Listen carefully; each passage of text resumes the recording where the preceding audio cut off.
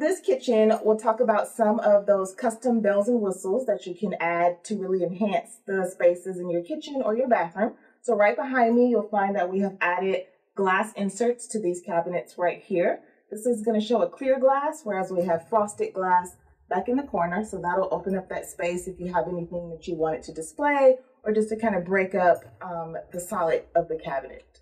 So right behind me, we've got a Lazy Susan tucked in this corner.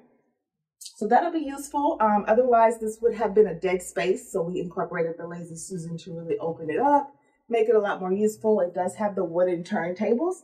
So you can reach back in there and rotate everything out at you versus having to dig around in that back corner. So that's our Lazy Susan option. Next to that, we've got a really popular option, which is our pull-out trash bin. This does come with the double trash bins included also comes in a couple different sizes. So once we get to your appointment, we'll pull out that cabinet map and kind of determine what size works best for you. Most people are trying to stick it next to their sink as close as possible, which just logically makes sense the way you use your kitchen that way. But we'll talk about it. So that's trash pull out.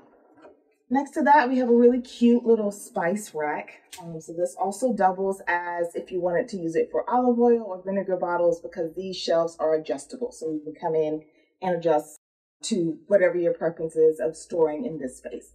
That's your spice rack. Next to that, we have added a cute little tilt out tray. So that is in lieu of a false panel that would typically be here if you felt like you needed more storage to, we've got our sponges and our sink stopper in here, but felt like you needed more storage to just add to your kitchen, that is also a good option.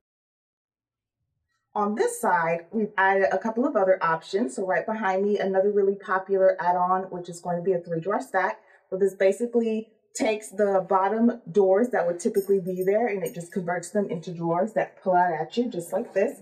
So if you needed pot and pan storage or even just extra snack storage like we have here, that is also an option. This just so happens to have soft close. So you push it and it closes the rest for you which is also um, an option that we can add, and we'll discuss that at your appointment.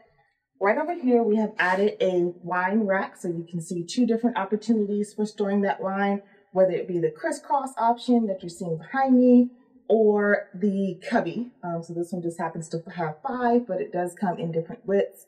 Again, we'll pull out that cabinet map and really determine which pieces work best. Also, behind me, you're seeing a floating shelf. So we incorporated this one in this kitchen to blend into the other cabinets, but we can also contrast it. So it does come in different colors, different paints, and different stains. But we'll have the opportunity to pull out that cabinet map and really hammer down on what is important to you for storage.